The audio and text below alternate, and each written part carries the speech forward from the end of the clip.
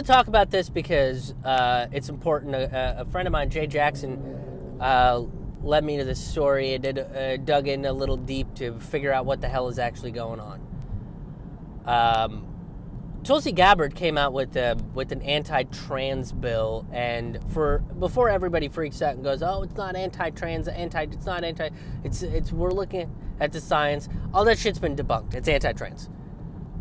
It's an anti-trans bill, and it is a betrayal to the LGBTQ community, um, who she said she was an ally to, continued to be an ally to, and now has all of a sudden, two weeks before she's done with Congress, decided to put this bill forward. Uh, so the bill is a Title IX bill. It's a Title IX bill. What is Title IX? It essentially grants equality for women athletes to ensure that they can get scholarships and um, grants and things of that sort when it comes to sports, right? So, and and from uh, I'm not a Title IX expert by any means, uh, but a lot of it has to do with the money, and and uh, Title IX seems to be messy anyway. So, Tulsi's bill basically says that it'll take away funding for any schools that let trans women, uh, that's men who have transitioned to becoming women, trans women who are women, uh, if you if you have trans women as part of you know your athletics program, you will not receive funding because uh, we're going by the biological biological sex of the individual. Okay, well, their biological sex would be female, so why would you get in the way of taking money and power from women using a uh, using something that is meant to empower women. So that would be the first question. So she has gone on, uh, you know, several times explaining her position, but her position, quite frankly, is wrong. And this is coming as someone who supported Tulsi. Uh, that I, I feel like that is no. Uh, no shock to a lot of people. I've talked about Tulsi. I have defended Tulsi when Tulsi needed to be defended. I've also criticized Tulsi when Tulsi needs to be criticized. and this is one of those moments um, where Tulsi needs to be criticized because this is a Joe Rogan argument, right? Joe Rogan has made this argument on his show several times. And look, it's fine, right? You can have a question. That, that, that is an important question to ask. What do we do about transgender folks when it comes to sports? Great question. let's figure it out and let's find an inclusive answer.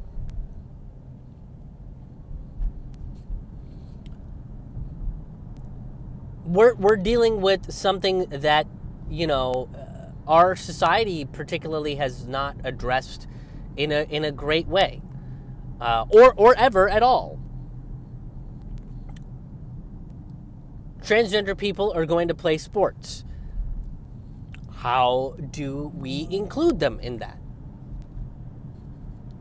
The argument that Tulsi and the you know the big Joe Rogans of the world are making is well, if it is a man that transitioned to be a woman, uh, they have an unfair advantage because uh, men have you know bigger, stronger, faster muscles and uh, more athletic prowess, which in and of itself becomes a sexist argument, right? Because isn't that isn't that the whole big thing of uh, of equality within sports? Wasn't there a battle of the sexes in the '80s uh, to to prove that men and women uh, have the same level of athletic prowess, regardless of gender, regardless of what is in between their legs? Isn't that the point?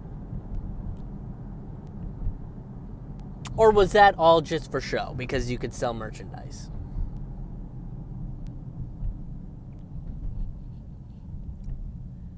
So Tulsi's using the science argument here, which is also debunked, mind you. Popular science and the ACLU have debunked a science argument. Uh, from from this article, the the the, the person that wrote this popular science article specifically uh, talks about uh, going through hormone therapy for about two years, two uh, or or more, possibly. It's like two plus years or something like that. And when you go through hormone therapy, it changes your muscle structure, it changes your skeletal structure, it changes a bunch of stuff. So, this notion that, you know, um, oh, the, the trans women, their, you know, their, their post pubescent muscles are going to be faster and stronger, and, you know, it's an, it's an unfair advantage, um, is false. It's bunk because of hormone treatment, hormone therapy.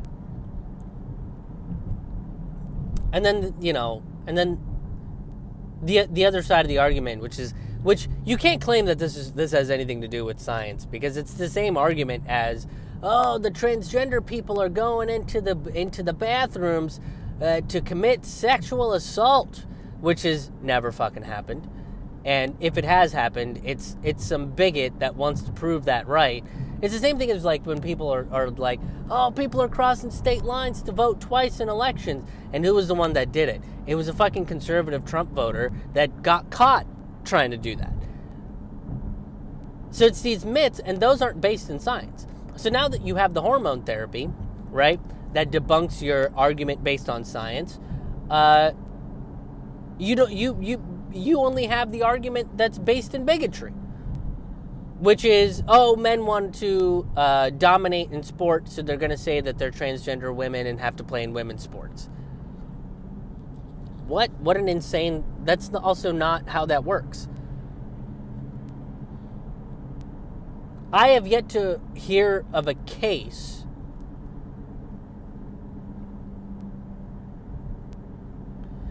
where someone that is a man says they're trans to play sports and and get scholarships and win grants and so on and so forth.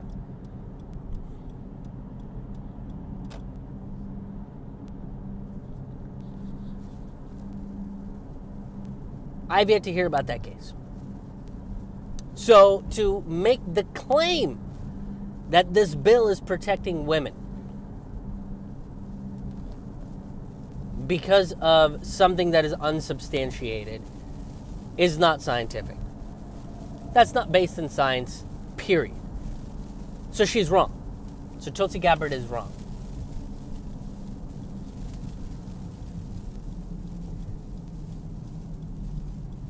That's that's I mean it's been debunked. and here's the thing is like Tulsi's smart enough to know to talk about the hormone therapy. But she doesn't. She just brings up this Title IX. Oh, it's in respect to Title IX. It's in respect to Title IX.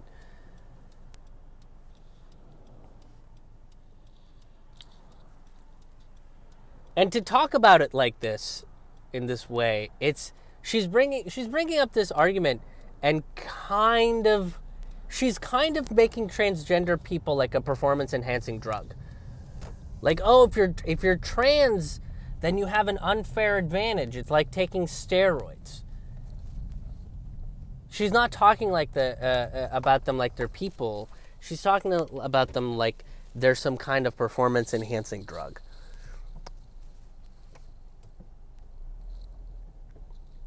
Which Tulsi, that's not what allies do.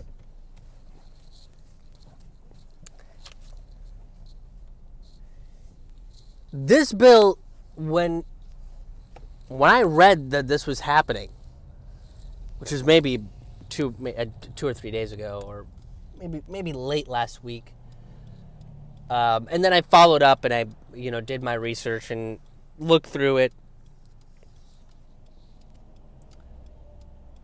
What's really peculiar about this is that Tulsi Gabbard, despite her past, one has come out and apologized, two has put forward anti discriminatory LGBTQ bills and got them passed within the House. She has a 100% rating with the Human Rights Commission. Com- committee? Commission? The HRC is what it, you know, this pro LGBTQ uh, group. 100% rating.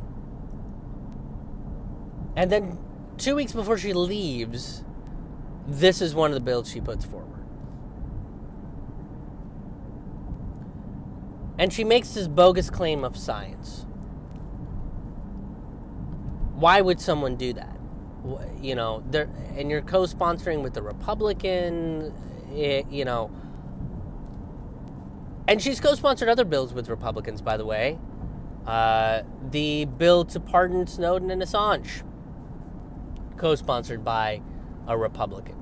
The bill that just passed to decriminalize marijuana on a federal level, co sponsored with Republicans. So that's not anything peculiar. What's peculiar is the discriminatory nature of this bill when you when you've apologized and put anti-discriminatory bills forward and championed them for years, for the years that you've been in Congress.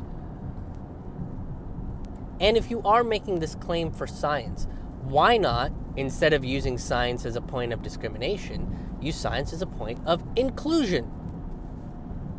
If the issue here really is Title IX, then how can we make Title IX be more inclusive to our trans brothers and sisters?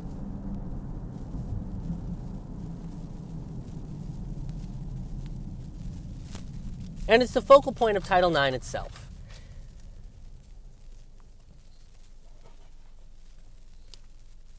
The focal point of Title IX, once again, comes down to money. Who is going to get this money?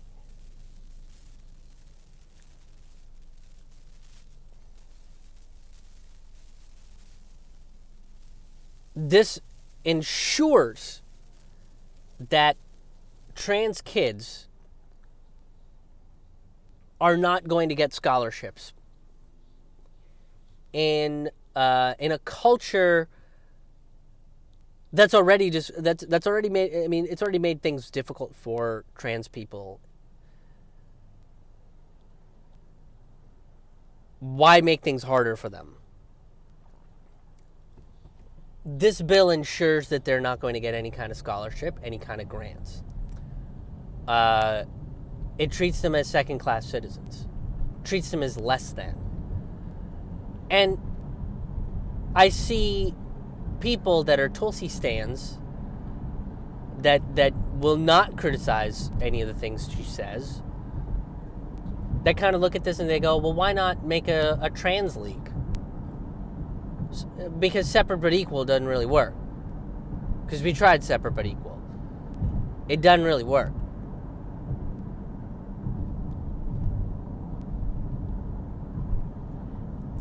And here's the reality, kids is if the trans league doesn't sell as much fucking Coca-Cola or Bud Light as you know the men's league does, then there goes the trans league.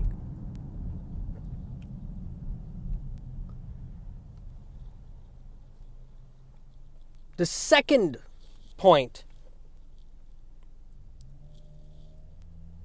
is you should really be questioning the education system here. What does it say about America that we have a system in place where the only way kids can afford an education is if they are above and beyond pushing them pushing their own physical limits and that's the only way that they can afford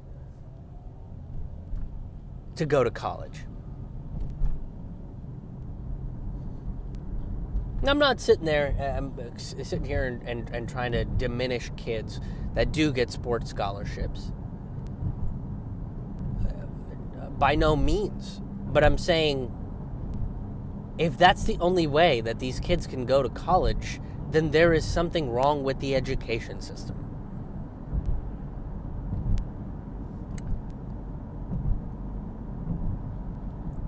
And within this context, again, why aren't trans kids eligible for the same kind of sports scholarships that any male or female, that a cisgendered male or female, would be eligible for.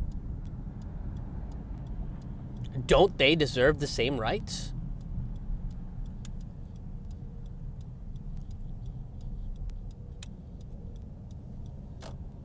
This is not a safety argument, folks. This is a divisive argument. This is a discriminatory argument. And Tulsi Gabbard is wrong. She's wrong about this. She's been right on a lot of things. She's been right about the military industrial complex. She's been right on Assange. She's been right on the Patriot Act.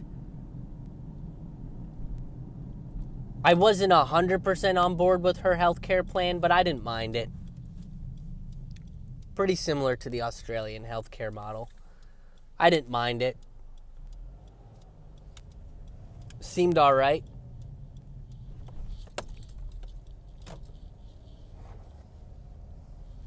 She was right about. She was right on the money with um, paper ballots. But when it comes to this, she is dead fucking wrong. Look, you have a choice to make in, in situations like this. When you come out and you go, well, we have a, an issue that we haven't really contended with as a society uh, about a group of people that we are unsure about how to include in a particular topic. I'm being vague for the sake of being vague. You have a choice. Either you can be inclusive in your decision, or you can be discriminatory in your decision. And Tulsi Gabbard has cho- chosen the latter. And I am honestly not sure why. And if people are going to sit there and say, oh, it's to vie for a position at Fox News, mm, it's doubtful. I don't know if Tulsi really wants to be a pundit of sorts. I don't, like Andrew Yang, that was kind of his thing, is that uh, that he I think he wanted a CNN contract and he got a CNN contract. I don't know if Tulsi's really looking for a Fox News contract. Uh, I don't know if Tulsi's looking for any kind of a contract with corporate media, especially when corporate media slammed her that hard. I don't know if she's really looking for anything to do with politics at this point. I honestly don't know what the fuck is up. It's peculiar, it's wrong, and, you know, the more she pushes for this bill and the more I hear her talk about it, this is gonna this is gonna be the the the nail in the head that makes you completely lose my support. I'm not for over supporting mascots anymore anyway. That's, I kind of, once Bernie and Tulsi endorsed Joe Biden, I kind of looked at it and was like, I, I, I think I'm done kind of pushing for a candidate. I think I'm more to push for these ideas. But I was anti-war before Tulsi Gabbard, before I supported Tulsi Gabbard. I supported Tulsi Gabbard because she was anti-war. And she still might be, and I still support that idea. But this is something I can't fucking get behind. You have two weeks left in Congress. Is this the bill that you want to go out on? To be known as the anti trans representative from Hawaii?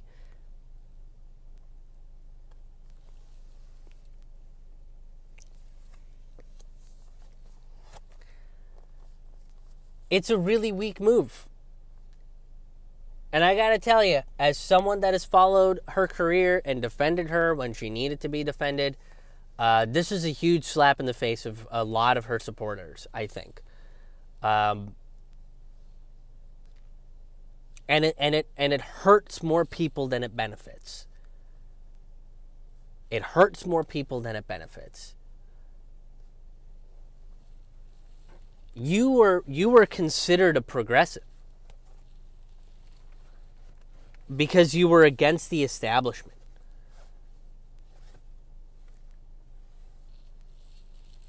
Progressives don't put out discriminatory bills.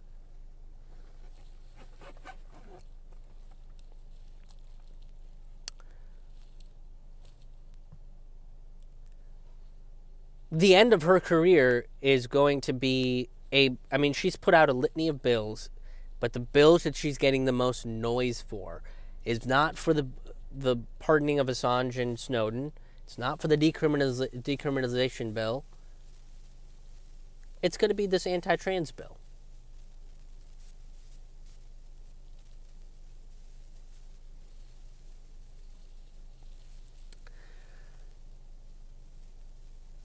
If that's what she wants her legacy to be, then that's what her legacy is going to be. And it's super fucking disappointing.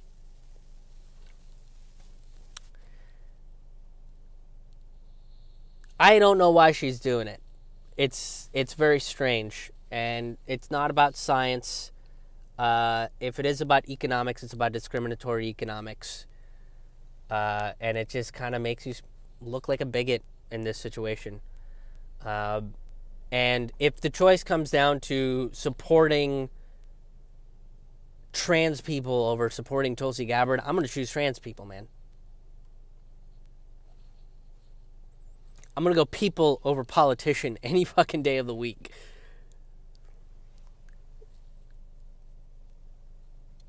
I got enough uh, trans friends who I know would be fucking heartbroken about this.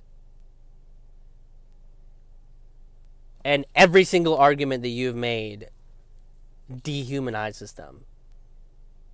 The science ar- uh, argument is debunked. You're basically treating them like a performance enhancing drug. You're ensuring that they can't get financial assistance to go to college if they excel at a particular sport.